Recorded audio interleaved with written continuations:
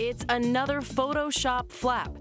This ad featuring Ralph Lauren model Philippa Hamilton looking abnormally thin, with her body much smaller than her head. The supermodel tells us that before the altered photo appeared on the web, Ralph Lauren told her that she was fired. They wrote a letter and they said, We're terminating your services because you don't fit into the sample clothes that you need to wear. Critics fear Hamilton's dismissal will be one more negative influence for young women and their perception of the ideal body. They said that I couldn't fit in the clothes anymore.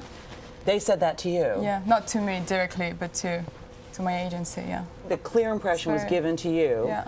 is that they fired you, you say, because you were too large. Because I was too large, yeah. Well, And Kate- it's very sad. I yeah, how do you feel is. about that? Uh, I, I've been working with them since I was 15 years old, since I was a teenager. So for me, they were my second family, and um, I think it's it's not a good example. When you see this picture, every young woman are going to look at it and think that it's normal to look like that, and it's not.